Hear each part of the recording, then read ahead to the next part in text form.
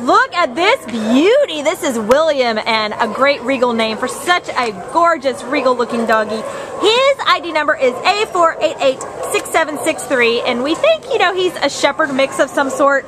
Oh, you can look, he's gonna show off his coat for you. He's just got a beautiful coat, this beautiful thick tail. Just, uh, I mean, he's just beautiful. He's just showing it off right now.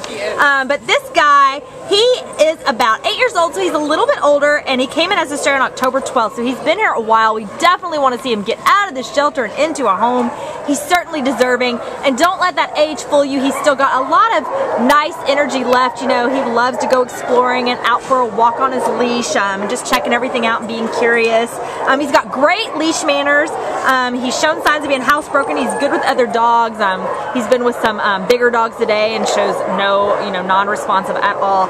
Um, he's just a love. I mean, he's just sweet. As you can see, he's he thinks he's a lap dog. He'll sit there on your lap. And if you're looking for a bigger dog but don't want like all that um, big dog energy that you normally think about when you think about a big dog, then this would be a great choice for you because you know he's a lot more laid back, you know, in his um, his eight years. Uh, so he's gotten a lot of that crazy energy out, you know, and he'd just be happy with you know a couple romps around the block and to just hang out and sit on your lap on the couch.